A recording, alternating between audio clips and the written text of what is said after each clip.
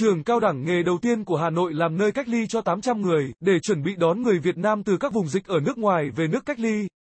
Phòng chống dịch COVID-19 Ủy ban Nhân dân thành phố Hà Nội đã quyết định thành lập 3 khu cách ly tập trung mới.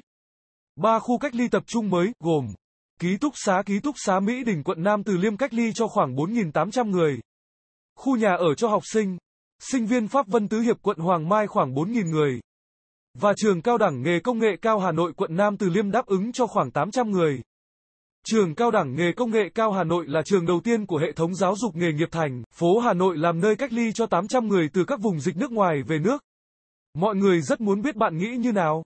Hãy để lại bình luận dưới video nhé. Trân trọng cảm ơn quý vị và các bạn đã quan tâm theo dõi. Xin hãy cho một lượt thích, chia sẻ và đừng quên bấm nút theo dõi kênh Xin chào và hẹn gặp lại.